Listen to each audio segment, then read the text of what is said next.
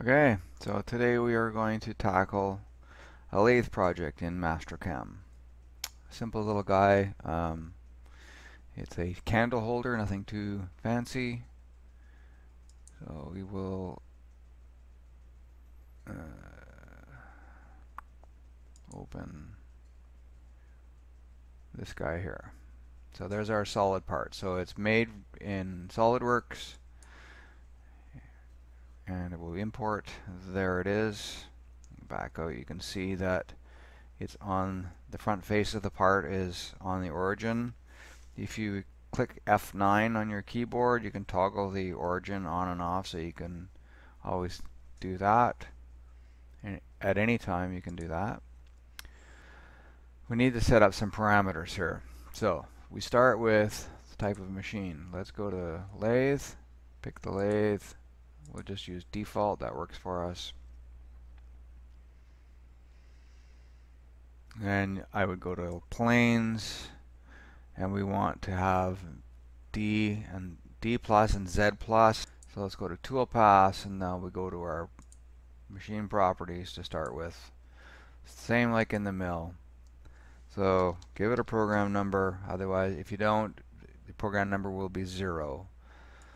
I like to use from material for my for my uh, feeds and speeds.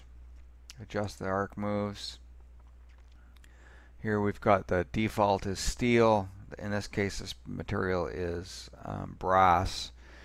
I believe that we're going to have to go with aluminum though, because I don't think that um, brass is in the library. So I would just go with 6061. It will be current speeds and feeds, uh, or relatively current or, or comparative anyway. And I always select each of these. It just helps me so that I don't have to type in everything all uh, all all the time. Gives me my tool number sequentially sequentially. Um, you know, one, two, three, four, five. Otherwise, you end up with the, the actual library tool numbers like 212 or 382 or whatever it is and of course your machine likely doesn't have those tool numbers. You may end up having to renumber your programs uh, your tool numbers on your machines anyway depending on where the tools end up. So everything else here is fine. Let's go to stock setup. So we have a left hand spindle machine. We'll go into properties for stock the stock is 1.5 inches OD, 4 inches long. It's actually, we're, we're using bar stock, but um, 4 inches is fine. We are going to give ourselves 50 thou for facing on the front front face. Um, everything else there should be okay.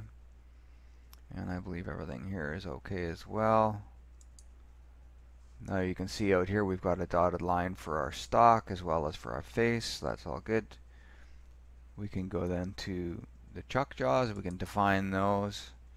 And you can switch those between external holding and internal holding. You can change the size of the steps on the jaws. You can get very creative um, depending on just how much information you want to add. Um, for parameters, we are going to clamp on the outside. I am going to um, go from stock. So that gives me an inch and a half stock. And how much am I going to grip it by? Probably one inch in length. If I preview the boundaries, you'll see, yeah, it looks okay like that. Click enter to continue. And we're good.